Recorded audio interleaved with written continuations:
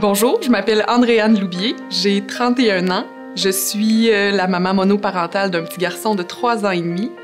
Je suis accompagnante à la naissance et intervenante sociale.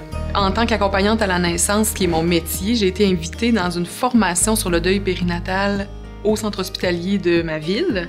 Puis parallèlement à ça, j'ai rencontré une fille qui était en train de mettre sur pied le projet Parents d'ange. Puis on s'est associés ensemble pour ce projet-là. On a des forces complémentaires vraiment. Puis étant donné que j'ai toujours aimé m'impliquer dans ma communauté, ben, je trouvais que c'était l'occasion parfaite d'en faire un petit peu plus pour euh, peut-être faire changer un peu les choses euh, dans, euh, dans ma ville.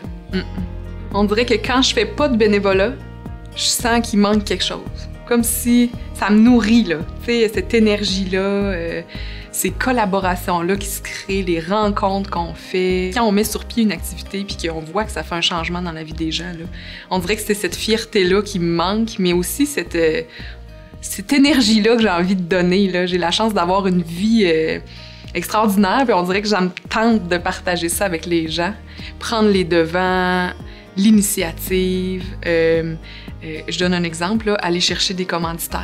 C'était définitivement pas naturel pour moi. J'étais gênée, euh, je savais pas trop comment m'y prendre, j'étais mal à l'aise, ça. Mais là, ça va maintenant. j'ai foncé là-dedans, puis je me suis dit, on essaie, puis on verra. Fait que ça, c'est sûr que ça a amélioré ça. Donc, parallèlement, ma confiance en moi aussi. Là. C'est juste se positionner, dire voici ce que je fais, est-ce que vous accepteriez de nous aider? Une personne qui n'a pas conscience de la valeur du bénévolat, j'aurais envie de lui dire de foncer, d'essayer, d'ouvrir les yeux pour voir qu'est-ce qui se passe dans sa communauté.